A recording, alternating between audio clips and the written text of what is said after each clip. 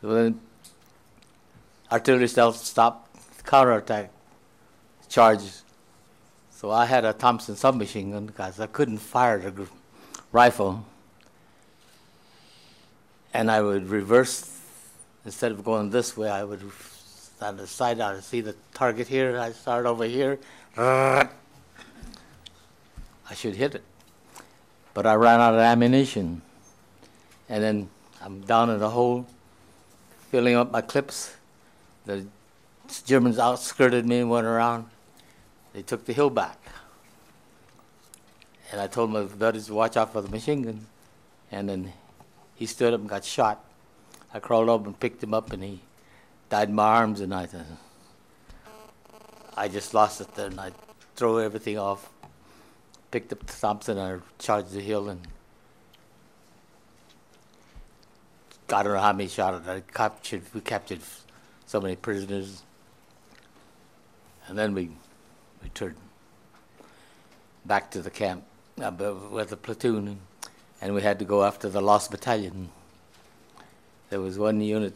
There was, this hill overlooked the whole valley, so every time troop movements going towards the lost battalion, artillery shells would bomb, shell them. So we had to take this hill.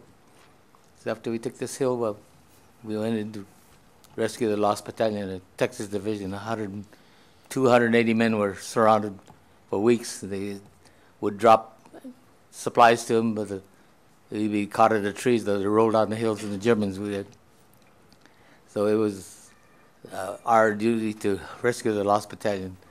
280 men, and during this whole campaign, 800 was, was shot or killed to rescue 280 men.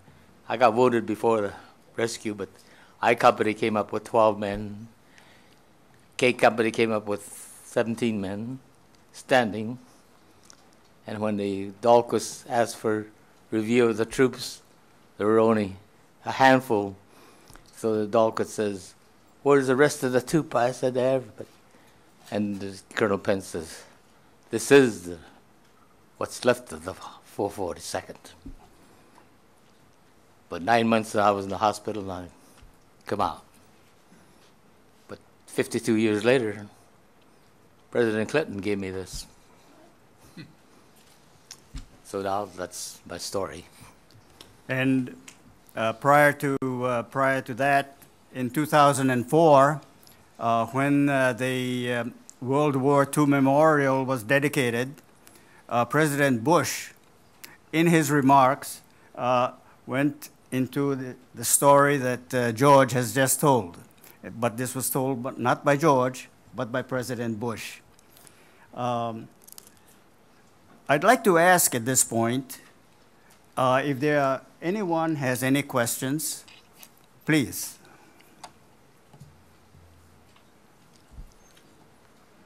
Yes.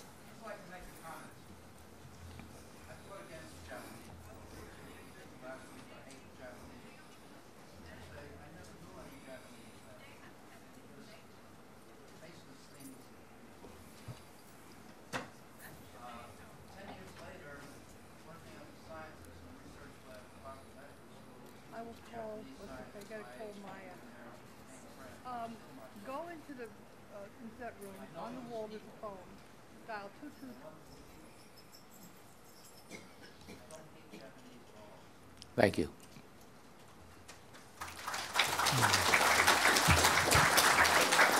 Sir, it is, uh, it is very interesting that you say that.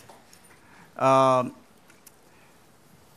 uh, the Japanese Americans uh, fighting against uh, the, their own racial ancestry was not an easy thing.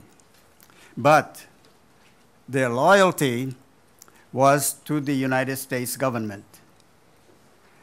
And that's what motivated them.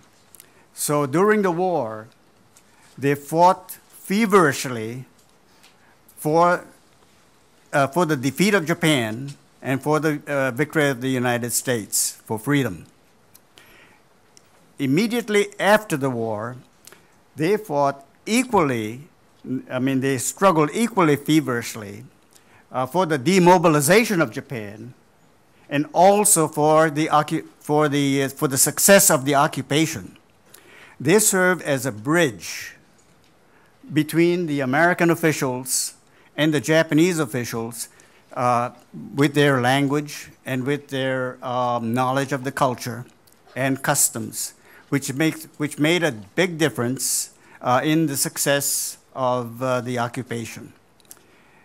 And uh, speaking about that, I'd like to ask Grant if he would make one comment uh, in his interrogation of a Japanese uh, prisoner. Grant, you know where you you you recall the comment that you made uh, when you the Japanese prisoner said you are a traitor. during the uh, interrogation, this was an officer. Generally speaking, the Japanese were very cooperative, but this uh, officer was very uh, reluctant. he was brought in on a stretcher. he was captured.